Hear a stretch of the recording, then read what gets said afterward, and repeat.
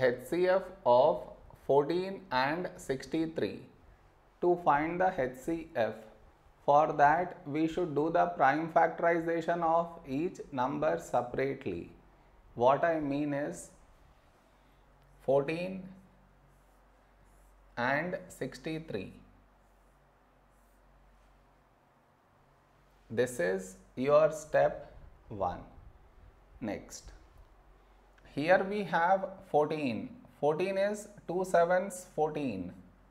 7 is a prime number so 7 1 7. Now the other number. Last digit 3 not even so not divisible by 2. Next to prime number 3. To check divisibility by 3.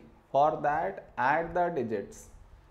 6 plus 3 we get 9 and 9 is divisible by 3.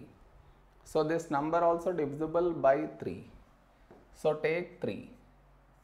First number 6, when do we get 6 in 3 table? 3 2 6. The other number 3, when do we get 3 in 3 table? 3 1s 3. Now 21 is 3 7s 21. 7 is a prime number so 7 1 7.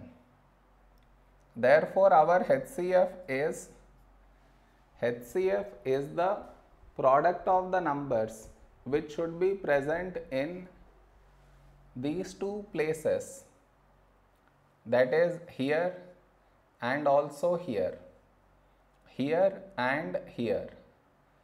So now let us find the numbers which should be present here and here. Starting with the number 2 do we have 2 here? No.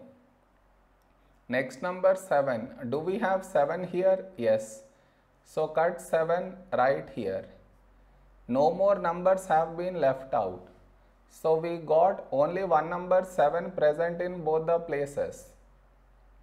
So 7 itself is our HCF.